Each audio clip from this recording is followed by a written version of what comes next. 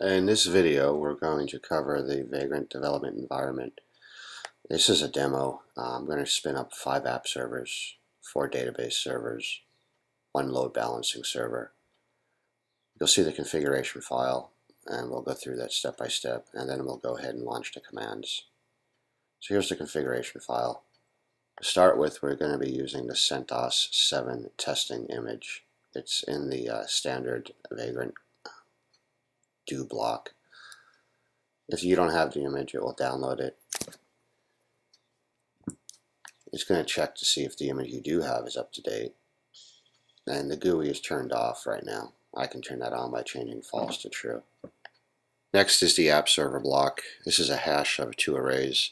Oh, sorry, it's a hash of an array. It's got two elements in the array. The first element is the IP address that we will use for connecting to our Vagrant servers. It's called the host only IP. The second one is also a private IP that's also host only, but this is on the same subnet as the load balancing switch.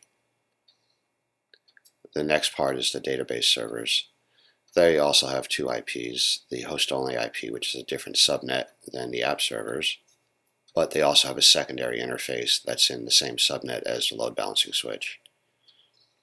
So our app servers and database servers can talk to each other directly or through the load balancing switch. The next block is the loop that will set up the app servers. It's going to take that hash of, array, of an array and it's going to assign the first IP to our first interface or our second interface and then the second IP to the third interface.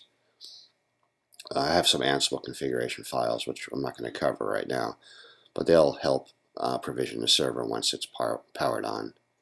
Same thing for the database servers and then the load balancing server.